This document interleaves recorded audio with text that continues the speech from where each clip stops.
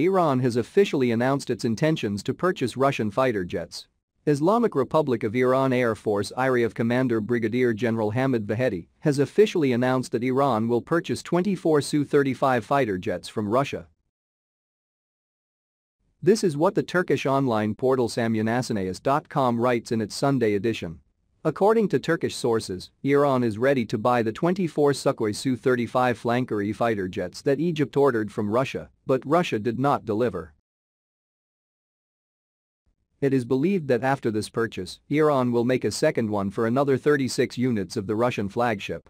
The Turkish publication sammunasanayist.com claims that after the purchase of the first 24 fighters, Tehran and Moscow may sit down at the negotiating table for the production of the 36 fighters in Iran.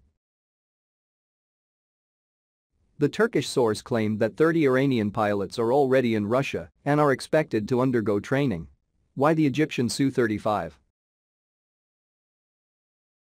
Egypt ordered 24 Sukhoi Su-35 Flanker E fighter jets at the beginning of 2019, in March.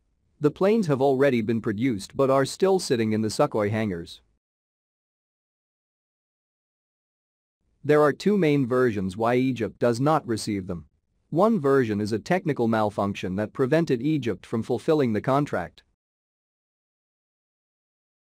This version is unlikely, since technical faults have always existed in every single production, and they are fixed, even if the delivery period is extended. The second version is Egypt's refusal to pay for the delivery of the 24 fighters. Such a refusal may have been dictated by Cairo's fear of Washington not imposing severe economic sanctions under the Quds law. Despite these claims, it is not yet known whether Egypt actually cancelled the order. But the Turkish source claims that Iran wants to buy exactly these 24 Su-35 units. Iran has problems in terms of establishing air superiority.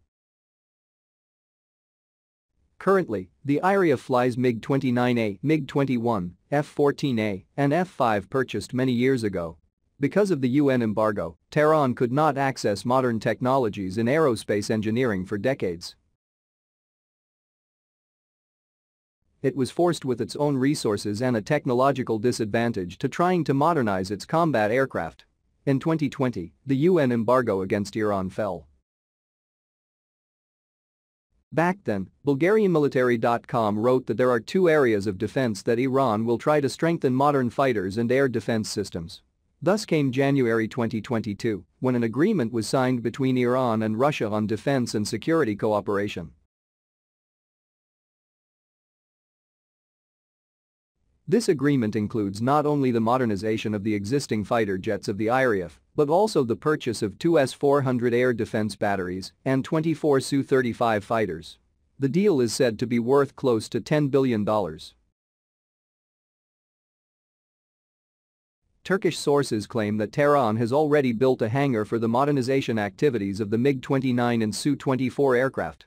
According to some claims, Iran's MiG-29A fighter jets are planned to be upgraded to the MiG-29 SMT level.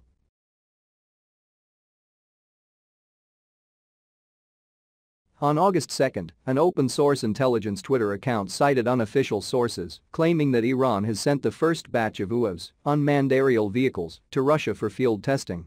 Also Iranian pilots and technicians sent to Russia for training on Su-35, the tweet added.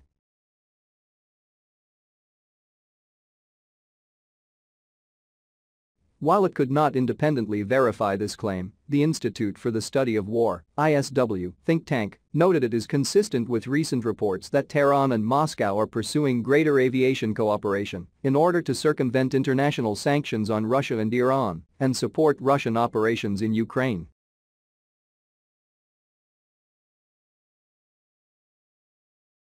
If true, this claim suggests that Iran may be receiving Russian Su-35 aircraft in return for the drones, which could have been part of an agreement signed by Moscow and Tehran on July 26 ISW added. Tehran may seek to use this agreement to facilitate the acquisition of Russian combat aircraft it concluded.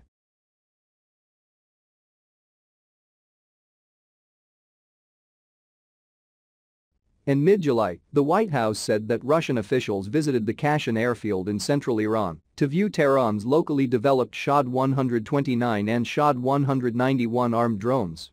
The White House claims that Russia is procuring hundreds of Iranian-built drones.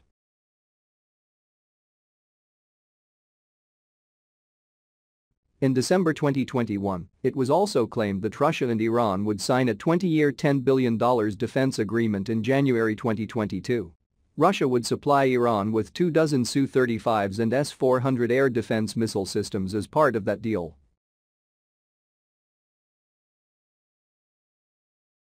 Of course, nothing has been heard about this purportedly impending agreement since.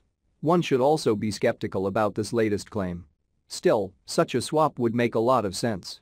Iran is proficient in building armed drones but hasn't acquired any new fighter jets since the early 1990s.